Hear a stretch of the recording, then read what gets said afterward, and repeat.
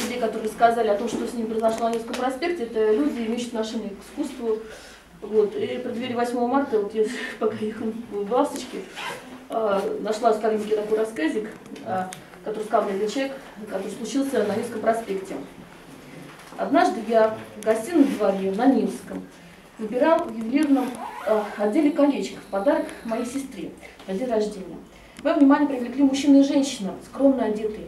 Мужчина говорил своей спутнице, ну что там тебе твой Алексей подарил? Нержавейку со стеклышком. Такое носить-то непристойно, не то что принимать в подарок. Вот смотри, какие перстни бывают. И с брюликами, и с камушками. Вот смотри, какой янтарь крупный. Мадам, сколько стоит этот перстень? Обратился он к продавщице. 12 тысяч рублей? Ну-ка дайте примерить. Давай сюда свой палец, мерь. Тут мужчина обратился к своей партнерше. Маловат? Ну-ка, вон тот перстень дайте, с янтарем покрупнее, 19 тысяч стоит.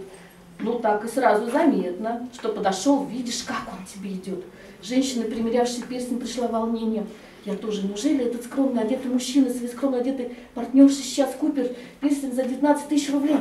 Вот это любовь. Но мужчина снял перстень с пальца своей подруги, вернул продавщице и повел свою женщину к выходу, приговаривая, вот какие перстни надо таким красавицам, как ты, дарить. Это видишь, Пашка, подарил тебе нержавейку со стеклышком. С 8 марта.